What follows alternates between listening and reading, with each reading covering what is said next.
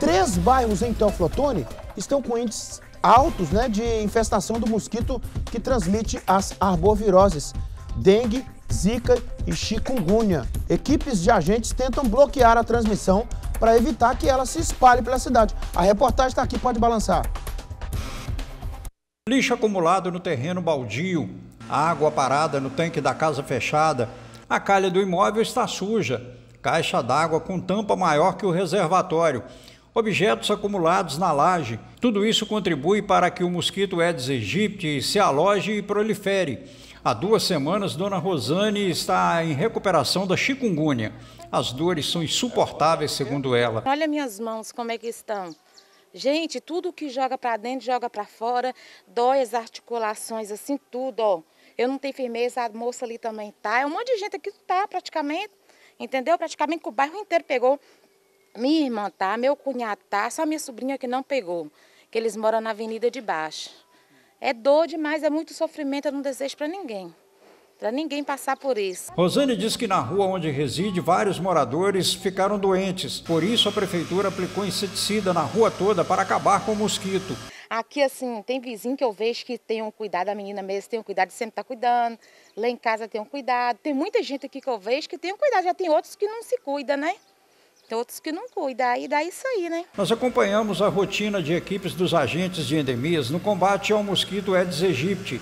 Matheus diz que Teoflotone já registrou mais de 20 casos de dengue e chikungunya esse ano, a maioria em três bairros. Aqui no nosso município, em Teoflotone, até o prezado momento, a gente está com 23 pessoas notificadas é, e positivas com dengue. Dessas pessoas também temos 23 positivas com chikungunya. É, o bairro com maior incidência é o bairro aqui da Matinha, é, de Jacência. É, então aqui as pessoas que moram nessas localidades aqui do bairro da Matinha, a gente pede né, uma atenção redobrada, os cuidados de prevenção no que se trata da dengue aqui no nosso município. A Coordenadoria de Vigilância em Saúde monitora todos os pontos em que há uma maior infestação e concentração do mosquito Aedes aegypti, que transmite a dengue, zika e chikungunya. E aí é lançada a mão do recurso da utilização da bomba costal para aplicação de inseticida num raio de 500 metros, a partir do ponto em que foi detectada uma pessoa doente. Mas a população também precisa colaborar. Evitar uma situação como essa aqui, lixo em meio à rua.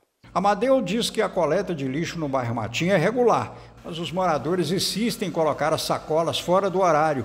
Isso aumenta o risco a várias doenças. O pessoal não coopera com a gente. Se eles cooperassem com a gente, colocassem o lixo na quarta e a, na segunda e a quarta de sexta-feira, a parte da manhã, e o lixo coletava o lixo e ia embora, né? Mas é depois o carro do lixo passa, ele joga o lixo de novo. Aí vai juntando dengue, juntando urubu, como eu estou falando com você. Para evitar que o mosquito contamine mais pessoas, Matheus destaca os principais cuidados que a população precisa ter contra o mosquito. A população ela tem descuidado da seguinte forma, né? É hoje que a, o que a, que a gente tem é, pedido à população é a limpeza dos lotes também que tem deixado os lotes sujos, às vezes tem ali um recipiente que pode estar acumulando água. É, também está verificando a caixa d'água se está corretamente tampada. É, tem gente, tem, tem, bairros aqui da nossa cidade que, é, devido à falta de água, mesmo com essa chuva, tem alguns bairros que sofrem aqui com a escassez de água. As pessoas, isso leva a população a estar armazenando água em, em recipientes e de forma incorreta, às vezes não sabe fazer a higienização desses, desses vasilhas, dessas vasilhas. Isso, então, isso tudo leva é, o aparecimento e a proliferação do mosquito Aedes. Em caso de suspeita de ter sido picada pelo Aedes aegypti, Mateus recomenda aos pacientes buscar ajuda nas unidades de saúde, mesmo à noite. A gente recomenda à nossa população, se alguém estiver sentindo sintomas de dente, cungunha, dores na articulação, dores atrás dos olhos, é, dor abdominal, é, dor de cabeça, procurar uma das nossas unidades de saúde.